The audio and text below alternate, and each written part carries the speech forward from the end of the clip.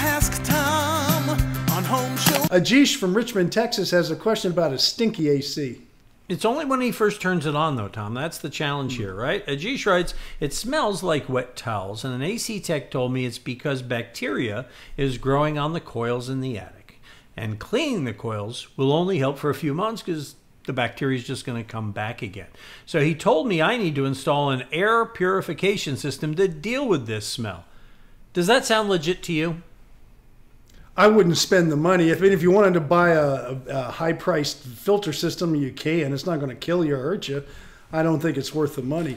Here's, here's what we have we have an air conditioning system, probably worked for a while. And now, especially after th- this time of year, after going from heating to cooling and heating to cooling, and you have these high efficient systems, and the evaporator coils get dirty over time if you don't maintain your system real well. If you don't have a good media filter on there just to keep the dirt off it, it doesn't wash itself, so it, ha- it takes a little bit to wash itself down so the smell goes away. And I'm sure the smell goes away pretty quickly, but it can be annoying. It's called the uh, smelly sock syndrome. Somebody came up with that, a friend of mine actually, who's no longer with us, David Debian, uh, a long time ago in the air conditioning business. But to have it cleaned is fine and it'll go away because it's a dirty coil. Here's what I'm getting at. A air filter system cleans the air going through the system. It doesn't clean the coil. So it's not fixing where the problem is. There is a coating you can put on your coil so it doesn't uh, build up that stuff.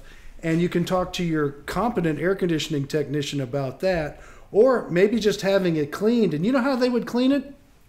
Spray it down with some water right in place and go ahead and just spray it down and clean it up.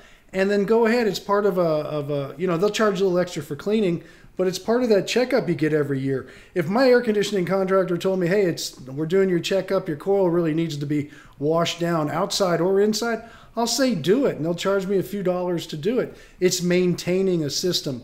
But buying a one thousand or two thousand or three thousand dollar filter system, and some of those systems can get rather expensive. I wouldn't do it. I just clean the coil. And if you want a second opinion, call Absolute Comfort Air if you're in Houston and you are being in Richmond, Texas, mm-hmm. and have them come out and have someone look at it because I have a feeling it needs to be tweaked a little bit too because I don't think your refrigerant is uh, balanced properly and I don't think you're getting that cold drop across the coil you want and that helps the water wash it off automatically.